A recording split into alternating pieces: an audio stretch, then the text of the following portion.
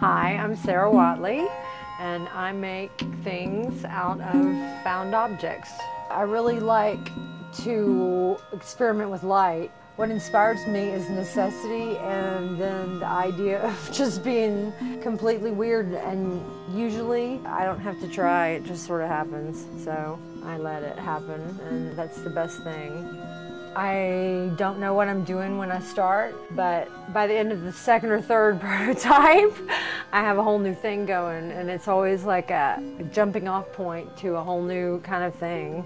It's really cool to look at x-rays and see all the crazy faces and angels and beautiful, sad expressions, and even dog x-rays have like little, you know, ascending winged looking thing, crying out faces.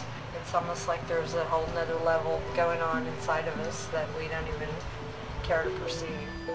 I just really like old gadgets and I really like the idea of uh, nostalgia and I like the idea of pushing the boundaries with some of these things. It's all about your own voice. It doesn't matter what anyone else is ever doing. It's got to be about what you're doing and just believe in yourself and realize that, you know, uh, you are the only one you have to please at the end of the day because art is completely relevant to the people who like it and other people are not going to get it and that's okay. It's perfect. It's fine.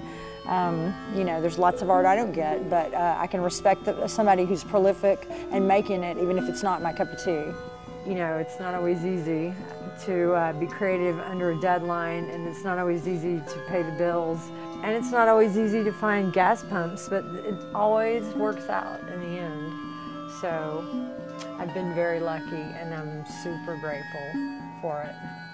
Because what it really means is that uh, I get to express myself in almost any way I want, and uh, people seem to like it, and uh, I like it. Recent works of Sarah Whatley will be opening at Bombshell Hair Salon, 2802 White Oak Drive, number 400, Houston, Texas, on September 21st, 2013.